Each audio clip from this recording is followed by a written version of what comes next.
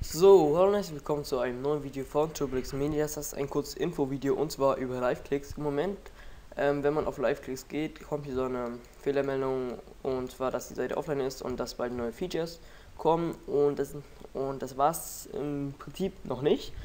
Und zwar, wenn man den ganz, wenn man Live-Klicks äh, bei Twitter ähm, die Newsfeed abonniert, ähm, bekommt man hier auch ein paar Infos und zwar Update zum Beispiel die Preise, ähm, die bestellt wurden bei der Test Redemption wurden verschippt jetzt. Ähm, der 24 ähm, Stunden, 7 Tage die Woche Store ist bereit und der wird bald eröffnen. Äh, New Later Members Selected, keine Ahnung, auf jeden Fall irgendwelche neue Teammitglieder, denke ich mal. Haben sie auch auf der Startseite veröffentlicht. Neues Design wird kommen, das ist der Hauptgrund, warum die Website ähm, offline ist. Und es wird äh, neue Möglichkeit geben, Punkte zu kriegen, also Credits und das ist natürlich super. Und hier steht auch nochmal Redesign Install Element in Progress, also ähm, wird halt neu designt und die werden in zwei bis drei Tagen wieder da sein mit dem neuen Design und den neuen Features.